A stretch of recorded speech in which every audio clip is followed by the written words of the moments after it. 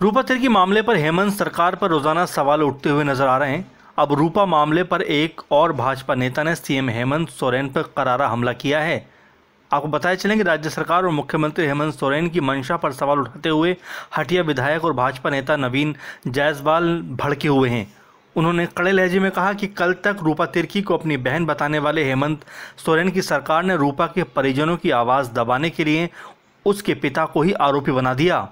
यहाँ आपको बताया चले कि साहिबगंज थाने की महिला प्रभारी रही रूपा तिर्की के परिजनों ने बीते रोज राजभवन में राज्यपाल द्रौपदी मुर्मू से मिलकर न्याय दिलाने की मांग की थी। जानकारी के लिए ये भी बता दें कि रूपा के परिजन भाजपा के प्रदेश महिला मोर्चा के अध्यक्ष आरती कुजूर के साथ राजभवन पहुँचे थे। रूपा के परिजनों ने मुलाकात के दौरान राज्यपाल को रूपा तिर्की की मौत के बारे में पूरी जानकारी दी। उन्होंने इसके साथ ही ये भी कहा कि इस मामले की जाँच में घोर लापरवाही बढ़ती जा रही है। फ़िलहाल, हटिया विधायक नवीन जायसवाल पहले भी रूपा मामले को लेकर राज्य सरकार की मंशा पर सवाल खड़े करते रहे हैं। अब देखना होगा कि विधायक नवीन जायसवाल के बयान पर इस बार राज्य सरकार पर क्या कुछ असर पड़ता है। आईटीपी न्यूज़ रूम की रिपोर्ट।